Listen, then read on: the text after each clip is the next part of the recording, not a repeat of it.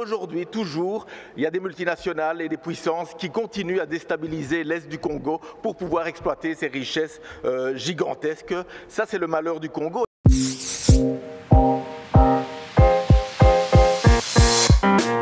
Philippe a prononcé, euh, pourtant la parole du gouvernement, a prononcé un, discours remarqué hier au Congo. Il a reconnu ce que finalement tous les historiens aujourd'hui admettent, c'est que le régime colonial était basé euh, sur des relations inégales, euh, injustifiables, basées sur la domination, sur le, racisme, qui a donné lieu à des, humiliations, à des exactions, hein, pour utiliser un terme peu explicite.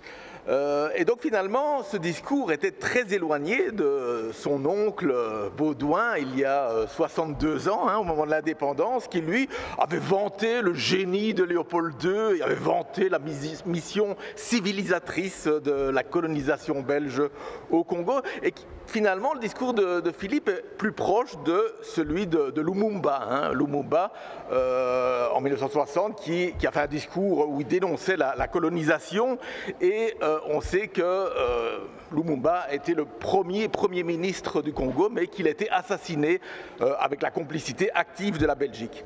Alors ce qui manque dans le discours du, roi, ben, c'est peut-être le, pourquoi, le but premier de la colonisation. Et ça, il faut le dire quand même que le but premier, c'était l'exploitation économique du peuple congolais et de ses immenses ressources naturelles.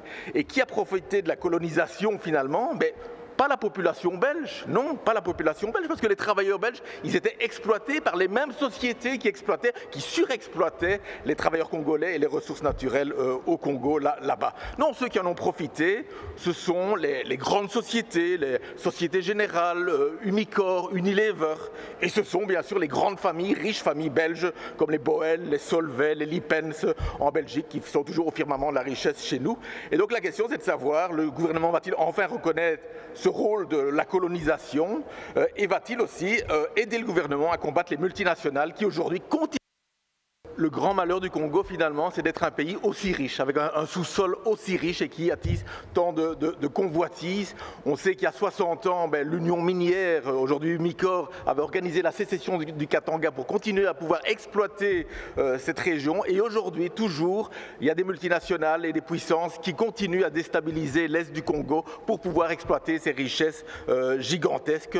Ça, c'est le malheur du Congo. Et je pense que s'il y a une responsabilité à pointer, c'est bien celle des, des multinationales des multinationales aujourd'hui comme celle du passé. Et je répète, euh, Umicore s'est fortement enrichi grâce à l'exploitation coloniale. Aujourd'hui, continue à faire des bénéfices records. Il n'est pas normal que de telles sociétés puissent euh, exploiter comme ça euh, allègrement un pays dans le passé, aujourd'hui, sans avoir des comptes à rendre. Je pense que c'est là qu'il faut aller pointer le doigt plutôt que de pointer le doigt sur une pseudo-responsabilité de la population belge.